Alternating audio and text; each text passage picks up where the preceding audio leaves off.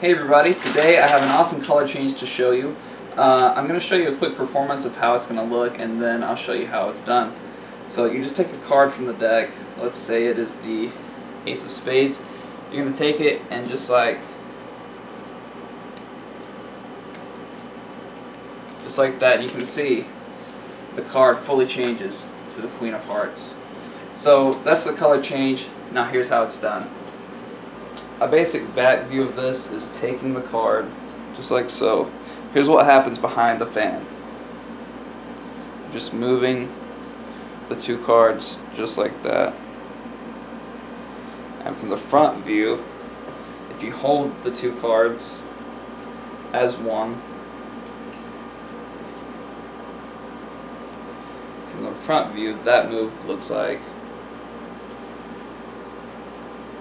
and behind. I'm just doing that right there.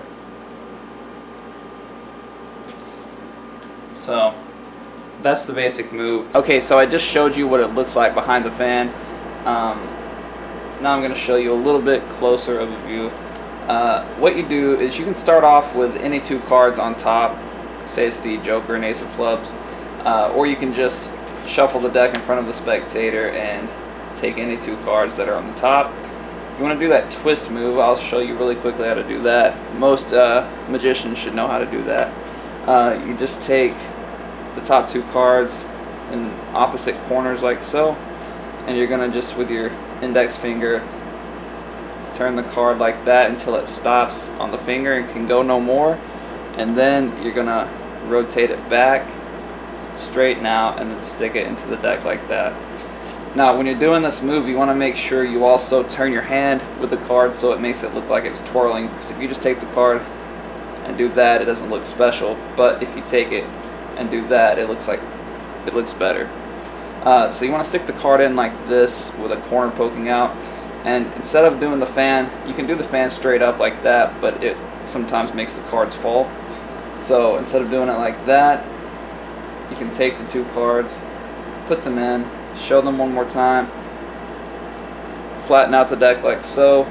Just do a normal fan like that and then lift everything up.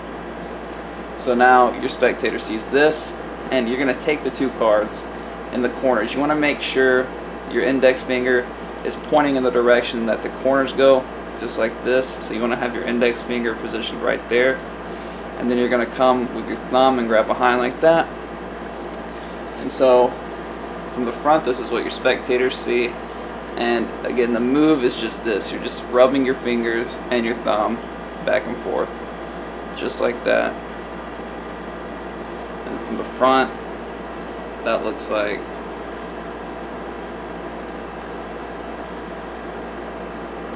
just like that.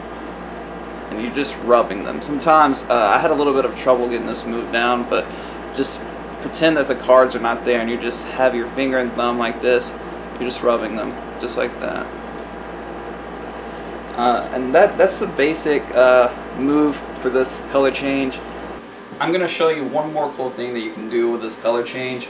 Um, what you're gonna need is your deck of cards and take one random card from the deck. I'm choosing the seven of spades and from a different colored deck you want to choose the same duplicate card. So I've got a red seven of spades and a blue seven of spades. So I'm going to take the indifferent card, the whole deck's blue, so in this case I'm going to take the red card, put it on top, and then I'm going to take the blue seven of spades and put it on top of that. So you want to force the seven of spades, obviously. Um, the way I do that is usually I'm talking to the spectator and I just give the deck a couple of cuts. As I'm cutting the deck, I just hold a pinky break. So I take one and I'm holding the pinky break right there two, three, and four.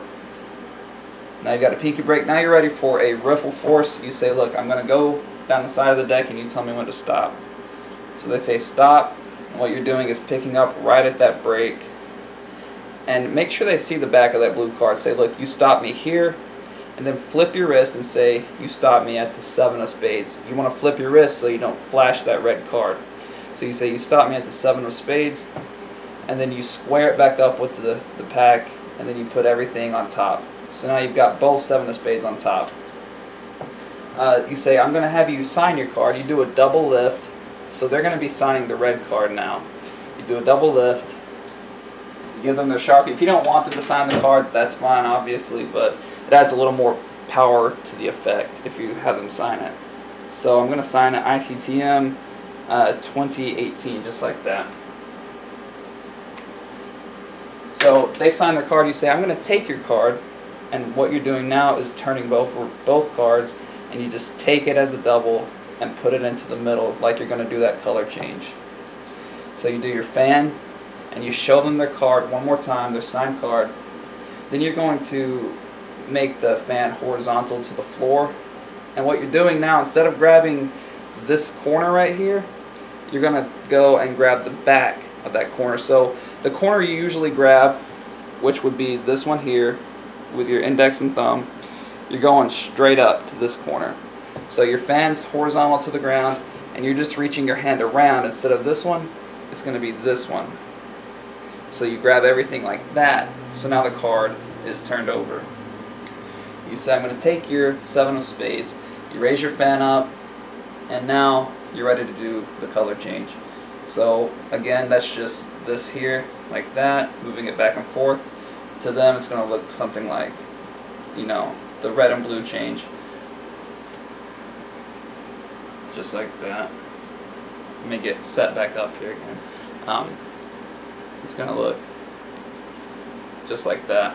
So you want to stop on the red, so you do it one more time to where it turns red. I would only do it about two or three times the change. You don't want to do it too much or they might catch on.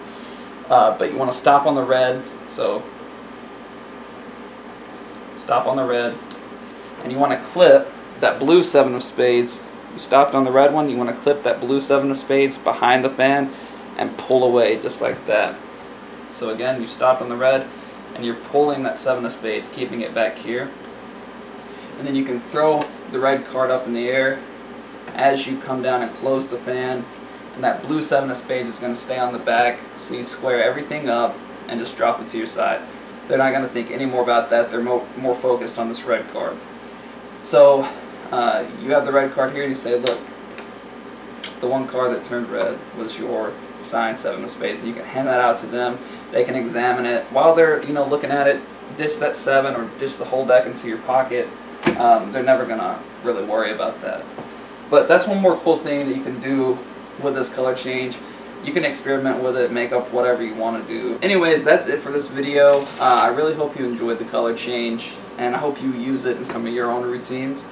Uh, practice it. If I had to leave you with anything today, it would be practice in front of a mirror. You got to have good angles. Uh, you know, take a camera or in front of a mirror.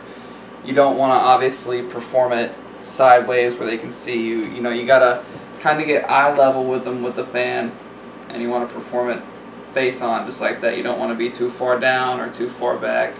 Uh, but yeah, work on your angles and then perform it and work it into your own routines.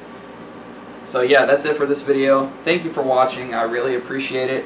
Uh, come back every single week for new magic videos and tutorials. Go ahead and subscribe and like the video. Uh, if you didn't like it, go ahead and leave me a comment and tell me what I could do better in the next video. Again, thanks for watching and I'll see you in the next one.